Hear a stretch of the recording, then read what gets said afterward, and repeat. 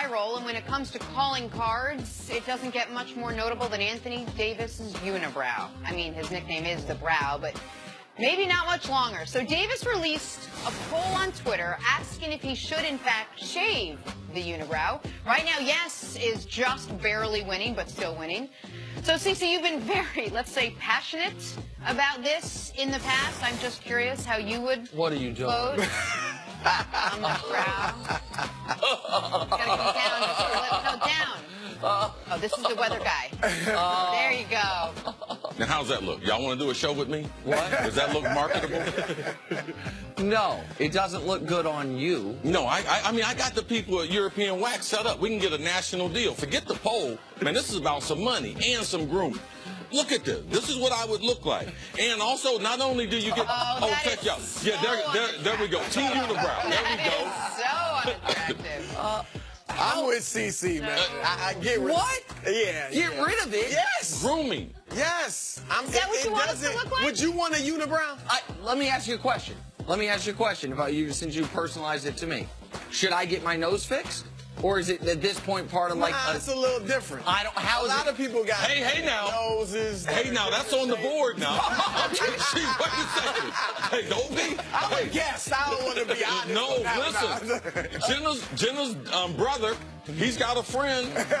He is the friend. Oh, we don't want him to do it because Oh, Nick, you you, know, want he'll, yeah, we get one of his friends to do it. You know, yeah. Anthony Davis, stay strong. Don't listen to peer pressure from Cris Nah, Carter. he, he it must, looks he good must on be you. considering it himself. He can't do it. It's all right. I'm not gonna kill him if he No one it, looks come on. good with one, Nick. I would just. Nick, just look at yourself again. I understand that, but I didn't make it part of my signature from the moment Man, I. you know what his signature is, Nick? What? His Oh, game. thank you. His All game. right, His you got to move on. Otherwise, this is going to be all we're getting from Chris Broussard. Thanks for weighing in.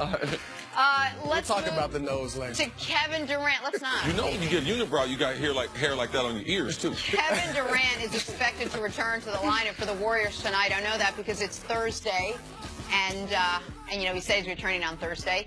But even when he's not playing, he's still making headlines. KD joined Bill Simmons' podcast to prove that while he might have retired the burner accounts, he's still very much on the defensive. Here's what he has to say to Simmons. All your blog boys and your fanboys, that's going to use everything I say and create an article. Watch a basketball game. How about you write that? I just want to say that because all these guys are going to write articles and get real mad about what I said tonight. They're going to put their emotions into it. It's not about you. Watch a basketball game. Enjoy the game. Stop worrying so much about me. Um, I mean, a little bit sensitive considering you sort of brought it on yourself, I will just say. Uh, is this Durant's chance to prove that he can win on his own? And if you feel free to react if you'd like to the. Yeah, I I think we'll get into that later. I'll answer your question first. Look, his legacy as an all-time great is set. So if they don't win it, I won't kill them if they lose to Houston without Steph in the conference finals. If they lose to LeBron and the Cavs in the finals without Steph, I wouldn't kill him. Some might, but I would not. But what this is is an opportunity. If Steph is out, and obviously we hope that's not the case, but if he's out, this is an opportunity for him to enhance his legacy. Mm-hmm. If he leads this team to a title without Steph, and if they get to the finals, play LeBron in the Cavs, and he beats LeBron and outplays him in the clutch like he did last year No finals. Steph Without Curry. Steph? Without Steph. That- Then he would be he would be regarded, I think, at that point as the best player in the world. Remember, on Christmas Day they beat the Cavs without Steph, and he did outplay LeBron.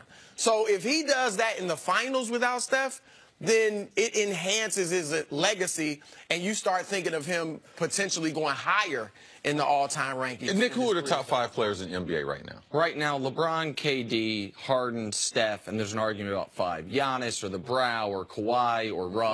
Westbrook. Yeah, I mean, Okay. Yeah. All those guys down there, Russ, there's major complaints about. Kawhi, we're complaining about him right now, and before that, potentially, Yeah. was he injury? All right. The the Brow Has never won a playoff game. Yeah. Not a series, a game. Okay, Harden, is he ever going to play any defense? Can he play with anyone else? Right. Right. Steph, can he stay healthy? Is this sustainable? Right? Can he play without a superstar? KD, LeBron. LeBron gets killed. All, all of them. KD's Kate, let- uh, uh, go ahead, CC. I I'm mean- sorry, I'll wait.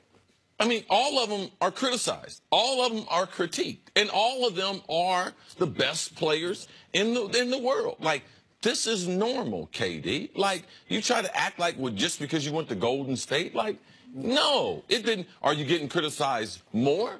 But let me tell you something. When you said you hit that shot last year and the torch was passed, well, then accept the torch then. There you go.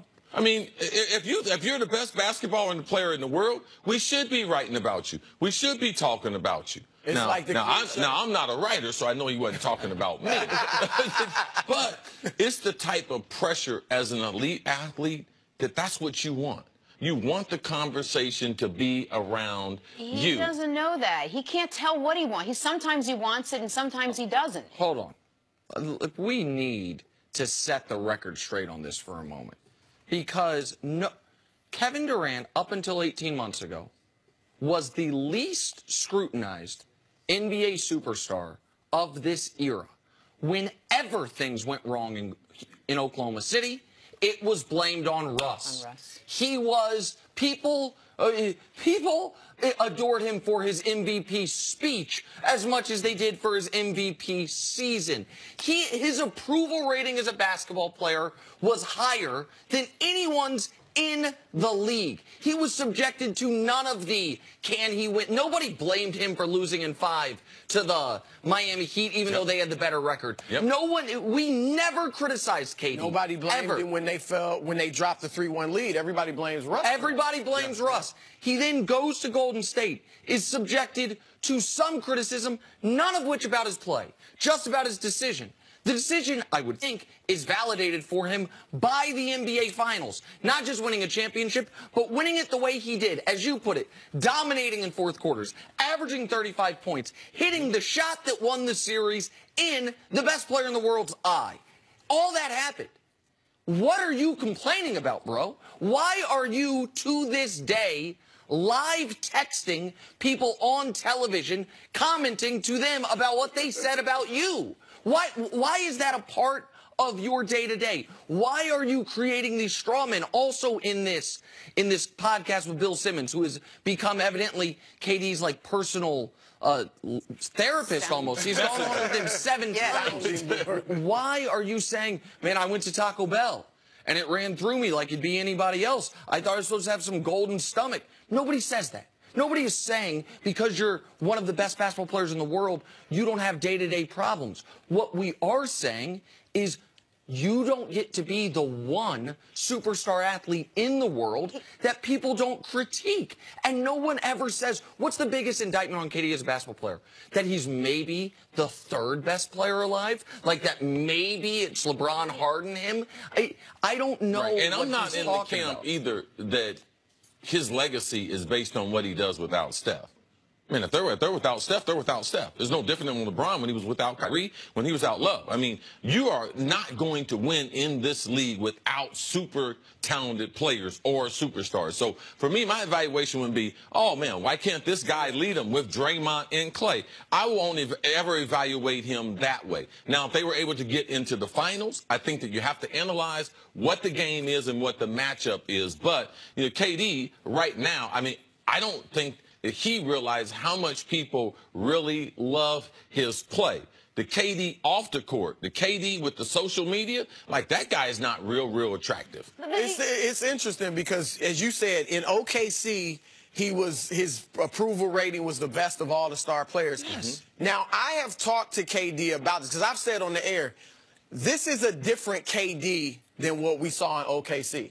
And Yes. if he's, it doesn't look like the real KD, and that that bothers me. KD has told me personally, no, this what you see in Golden State is the real KD. He says the guy that was in OKC that bit his tongue, that was just didn't say anything, that was Mm-hmm. I can too live with nice. that. He said that's not me, and I'm fine with it. that was once the he fan told me that, favorite. one, well, that's the But that's- ironic thing. But once he told me, no, I'm being myself, I was cool with it. And if he wants to clap back at media, I'm not mad at that. If people go at him, he can go back at them. Just don't let it influence, affect you on the court.